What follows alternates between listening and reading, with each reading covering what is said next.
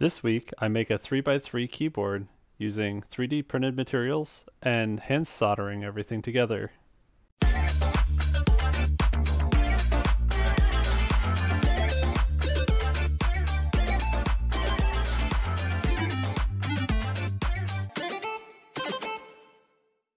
This video and keyboard that I make is me just following Joe Scotto's how to build a hand-wired keyboard video.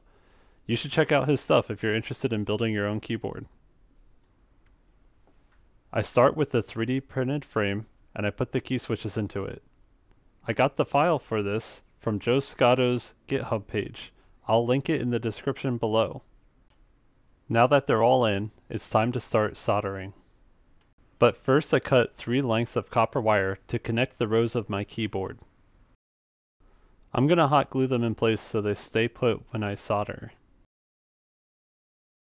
I solder all of the row pins together and do a pretty mediocre job. This is my first time soldering. My first round of hot glue blobs didn't really hold, so throughout this video you can see me adding more hot glue and moving things around. I'm having issues soldering things from the table, so I use these helping hands to get my keyboard in a better position. The other pins on the keyboard switches get a diode, after soldering them to the switches, I'll solder them all together with a copper wire.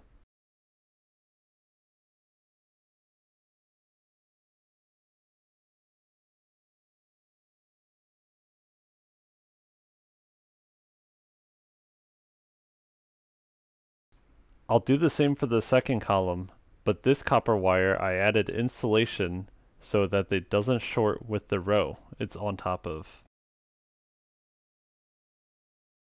And now I'll finish up the last column.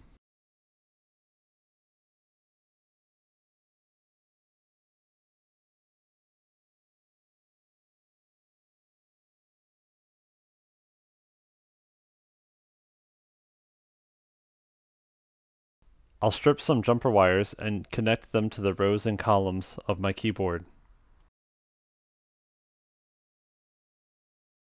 The better I wrapped the jumper to the copper wire, the easier it was to solder them together.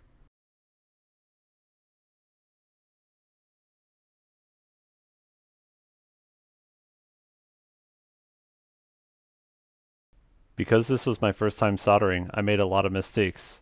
I created a tester with an LED and a breadboard, and here you can see the blue light when the connection works.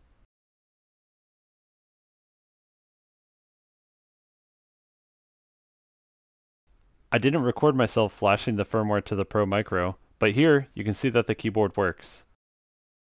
This is what it looks like all put together with its case.